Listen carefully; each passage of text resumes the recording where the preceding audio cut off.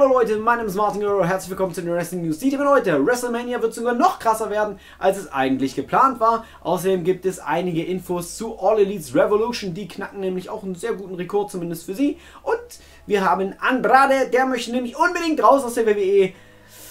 Ja, ob das was wird.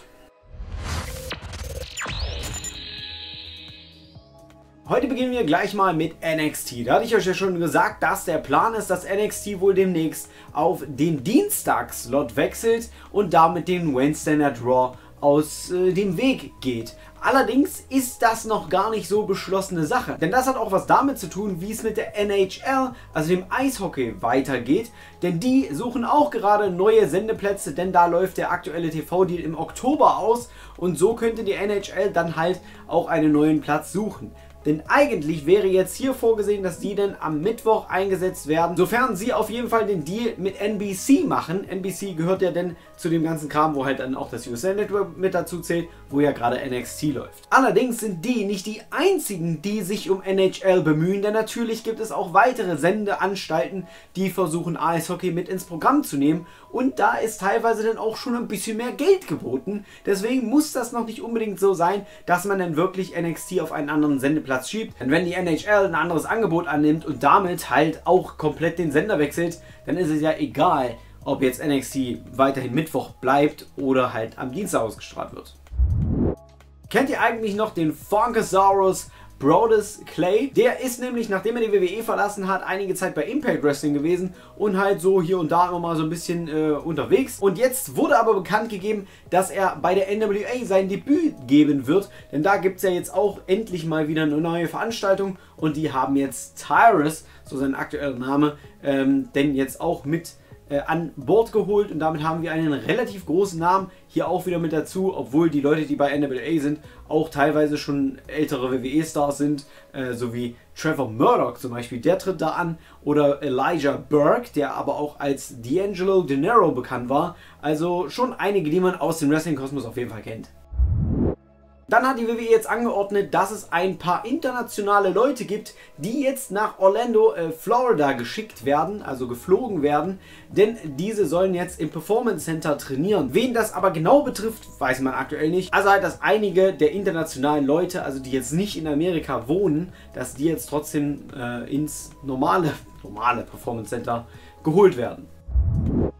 Dann hat Ring of Honor bekannt gegeben, wie sie aktuell mit diesen ganzen Testgeschichten umgehen. Da ist es nämlich so, dass bevor man zu einem Taping überhaupt fahren möchte, dass man sich erstmal selber testet wegen Corona. Dann wird man, wenn man ankommt, nochmal getestet, muss dann aber so lange in der Bubble bleiben, also in Hotel und so weiter. Und dann wird man nochmal getestet, wenn man dann kurz vor seinem Auftritt ist. Nach den jeweiligen Matches wird dann alles, die ganze Halle und so weiter, der ganze Ring wird dann desinfiziert und dann äh, sollte eigentlich alles klar gehen. Soweit auf jeden Fall erstmal die Ansage bei Ring of Honor, wie das da gemacht wird. Jede Wrestling Promotion macht das ja ein bisschen anders, aber die testen quasi jeden Typen, der da im Ring steht, dreimal. Dann haben wir noch eine sehr interessante Sache rund um John Moxley, denn da wollte ja die WWE vor einigen Monaten sich mal den alten Namen, also Dean Ambrose, äh, claimen lassen, also was Markenrechte und so weiter angeht. Und jetzt hat die Behörde, die sich damit auseinandersetzt, diesen Fall mal geprüft und entschieden, dass die WWE nur den Zuspruch für dieses Markenrecht bekommt, wenn John Moxley dem Ganzen zustimmt. Was natürlich auch sehr interessant ist. Eigentlich braucht ja Moxley den Namen Dean Ambrose nicht, aber die WWE braucht ihn jetzt eigentlich auch nicht. Aber die claimen halt sowieso alles, egal ob aktiv oder inaktiv oder schon mal da gewesen oder nicht. Die claimen halt irgendwie alles. Von daher, ja, keine Ahnung, was da der Plan ist. Ähm, muss man halt dann jetzt mal abwarten, ob Moxley da wirklich das Okay dann halt dafür gibt.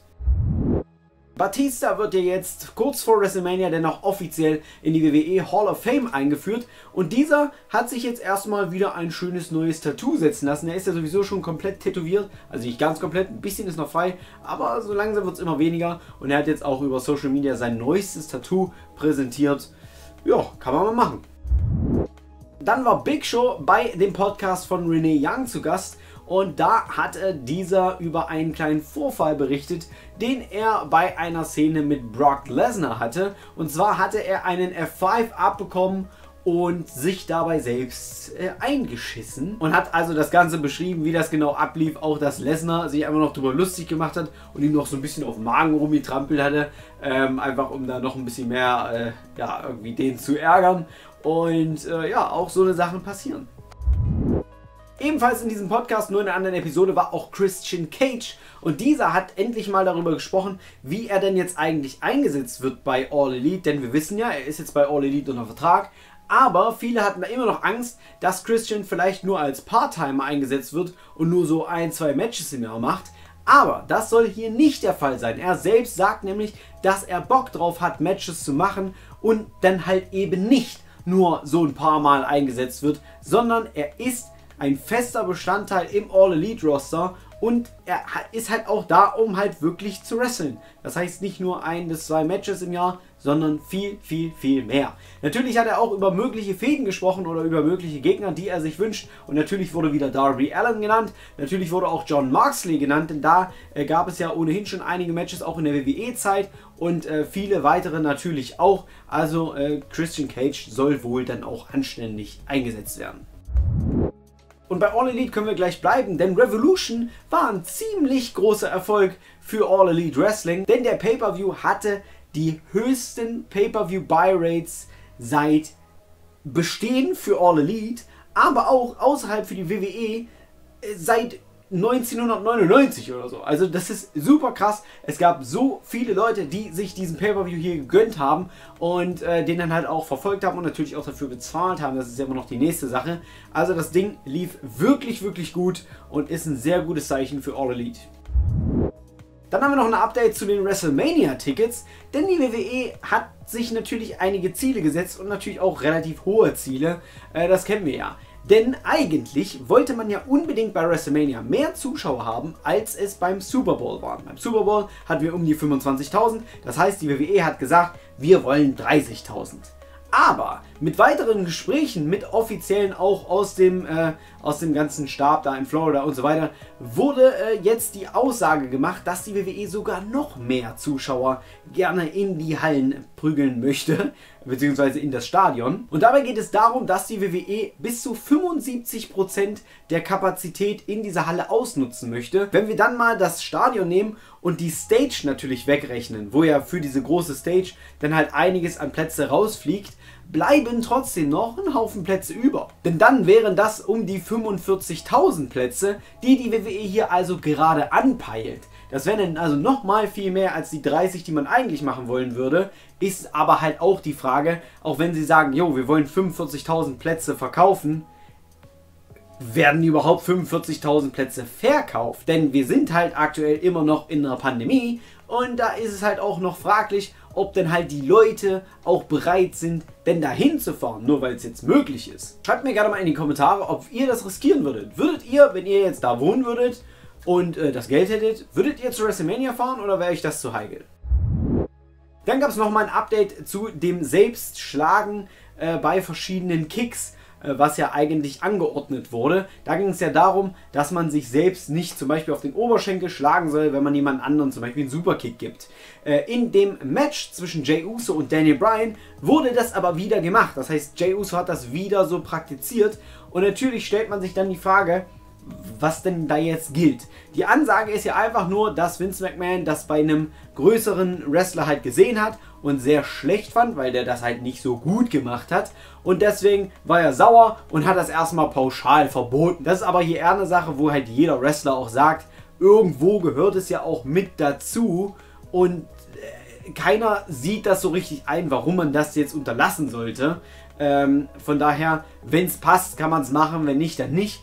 Aber das ist wahrscheinlich auch wieder so eine Sache, da hat Vince halt einfach mal ein bisschen sich ausgekotzt gegen und so nach und nach wird das halt einfach wieder weitergemacht und fertig.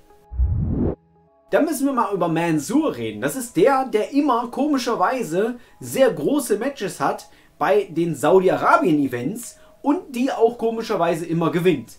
Aber Mansour ist momentan in einer extrem krassen Winning Streak.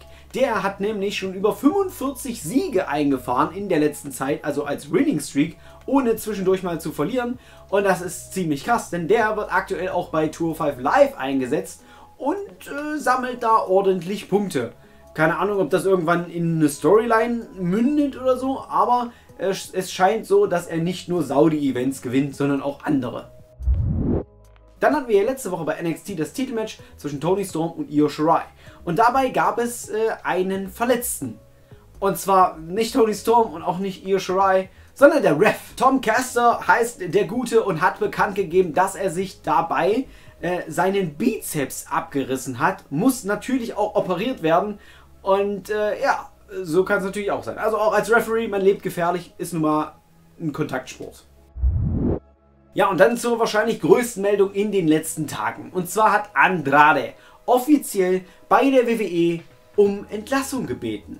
Das ist nicht das erste Mal, dass wir sowas hören, dass Wrestler super unzufrieden sind bei der WWE und halt einfach die Company verlassen wollen und darum beten, aus ihren Verträgen rausgenommen zu werden. Und hier haben wir einfach wieder jemanden. Andrade ist nämlich aktuell fit. Den könnte man einsetzen, will er aber nicht. Das gleiche kennen wir auch von Alistair Black und von vielen anderen auch. Nur dass Andrade jetzt seinen Mut zusammengenommen hat und darum gebeten hat, ihn doch bitte aus seinem Vertrag zu entlassen. Und natürlich, ihr könnt euch denken, das wurde abgelehnt. Ganz klar. Denn die WWE will natürlich niemanden an irgendwelche anderen Promotions verlieren. Gerade auch wenn All Elite jetzt immer mehr Aufmerksamkeit bekommt, will man das natürlich vermeiden, dass da irgendwer hingeht. Also ist es hier auch ebenfalls so, der kann machen, was er will der wird nicht entlassen. Der wird aber auch nicht eingesetzt, gerade auch, weil man ja jetzt mitgekriegt hat, okay, der ist unzufrieden, dann wird er auch unzufrieden bleiben. Das wäre eigentlich für mich so eine Sache, um mal drüber nachzudenken, ob es nicht eine Möglichkeit geben würde, ihn vielleicht oder auch die anderen ein bisschen besser einzusetzen. Zum Beispiel ihn, wie Alistair Black und Ricochet und so weiter, halt einfach zum Beispiel zu NXT zu schicken. Denn das wäre ja gar nicht so schlecht. Die würden da ordentlich eingesetzt werden und man wäre so los und dann wäre auch okay und sie wären aber gleichzeitig nicht in einem anderen Produkt wie All Elite oder so. Würde ja Sinn machen, aber irgendwie macht es keiner. Es ist äh, sehr eigenartig. Naja, auf jeden Fall ähm, wird Andrade jetzt dadurch wahrscheinlich jetzt auch nicht besser eingesetzt werden. Das Einzige, was ihn noch so ein bisschen schützt, ist seine Beziehung zu Charlotte. Denn die sind ja offiziell auch privat zusammen. Und äh, ja, das könnte also noch ein bisschen ausschlaggebend sein. Aber es wird ihn wahrscheinlich auch nicht retten. Von daher, ja, Andrade hat keinen Bock mehr. Und Vince will ihn noch nicht einsetzen, aber will noch nicht loswerden. Vor allem ist Andrade ja auch einer der Leute, die halt von Paul Heyman, als Paul Heyman noch Raw übernommen hat, sehr krass gepusht wurden. Denn zu der Heyman-Zeit hatten wir ja Leute wie Ricochet, Alistair Black und Andrade, die halt wirklich viel Aufmerksamkeit in den Shows bekommen haben. Und nachdem Paul Heyman dann weg war, hat Vince McMahon halt angefangen, diese ganzen Paul Heyman-Guys, wenn wir so mal so nennen wollen, halt alle wieder abzusägen. Und das ist halt jetzt auch der Fall. Naja, Freunde, wird auch hier wieder nicht der letzte Fall sein, aber soweit erstmal zu dem News-Update für heute. Schreibt mir gerne mal eure Meinung zu dem Thema in die Kommentare und ansonsten gerne Daumen nach oben, Abo da lassen, Glocke aktivieren, Kanalmitglied werden, einen wunderschönen Tag haben und wir sehen uns dann in einem der zahlreichen, reichen nächsten Videos. Macht nicht mehr Sulle, schlaft schön und